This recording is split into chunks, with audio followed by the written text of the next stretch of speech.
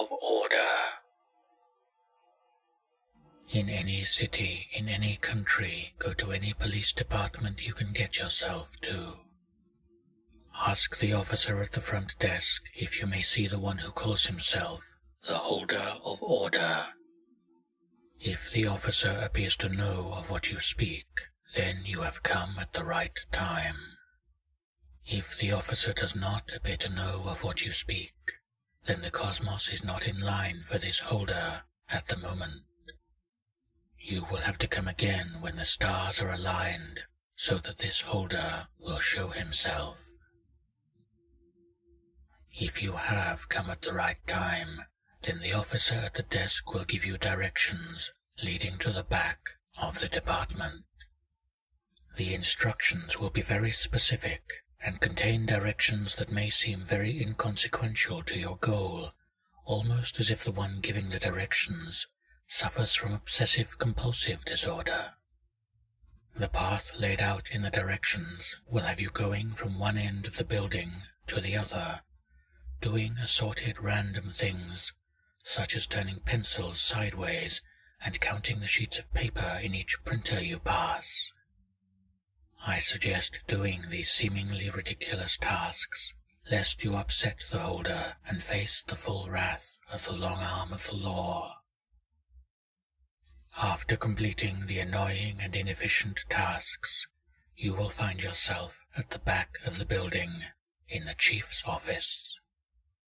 Sitting there at the desk in the corner of the room will be a stout and muscular man, seemingly in his mid thirties. Do not let this illusion deceive you, for he is far older than he seems, having existed as long as the objects themselves. He is the holder of order. As you approach him, he will glare at you with his deeply set eyes that seem to pierce your flesh and pry into your very soul. He will know your every sin, your every fault, every weakness, every guilty pleasure, every crime.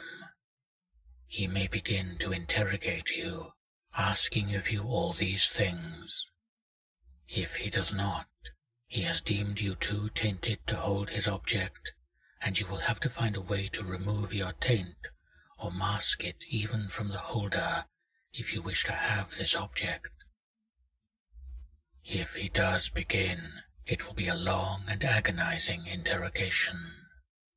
You will be placed under a very hot lamp, deprived of food and drink, and subjected to a barrage of questions and accusations so rapid in succession that you won't be able to respond to half of them. He will ask you about every wrong you have committed, and you must answer truthfully, for he already knows. Many are driven to madness or suicide by this interrogation and the old guilt it digs up. If you manage to survive this ordeal without lying to him, you will be rewarded. If you do lie, your soul will be subjected to everlasting incarceration in a hellish prison, while your body is left to waste away in an earthly one. The reward you will receive from the holder is a large .44 Magnum revolver. With it, however, comes the burden of having your dreams filled with every atrocity ever committed in the name of order.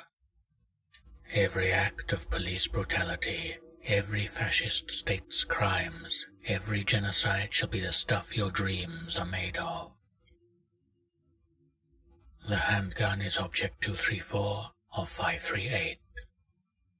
Every shot fired will slay your target, but also the life of an innocent. Such is the price of order